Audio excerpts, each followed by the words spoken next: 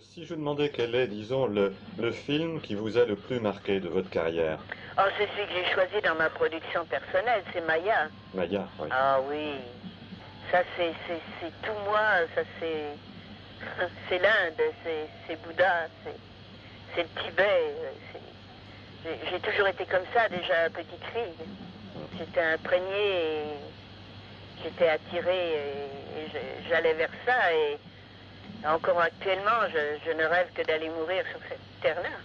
Alors c'est Maya, n'est-ce pas? C'est le thème de l'illusion et avec tout ce que ça comporte, avec euh, avec tout l'appel vers les, forces supérieures euh, inconnues et tout ça, quoi. Enfin, euh, vers ce que je considère comme la véritable religion, que l'on ne peut pas appréhender, mais enfin que l'on peut ressentir quand même.